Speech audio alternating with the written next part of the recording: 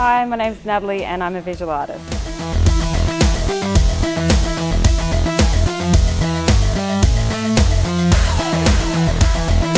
I started doing, well, being into visual art ever since I can remember.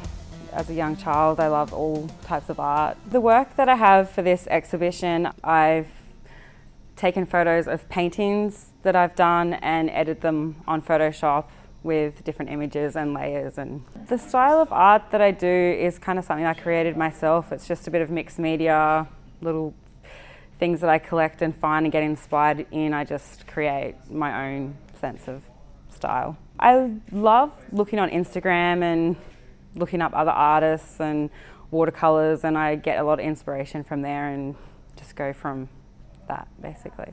I don't really think about an audience, so I guess whoever can relate to it or, you know, find something in it, then that's the main thing. Yeah, I love the fact that with the work that I'm doing now, um, people can, like, I'll create it in a certain way and see certain things in my story in my work, but then when I show it to my friends and family, they see completely different things or pick different things. I love that, that they can see their own story and it's not a set thing, like it's just open to what your imagination basically. My goal for my art is to start a business and put some of my images on shirts and stuff and get it out there.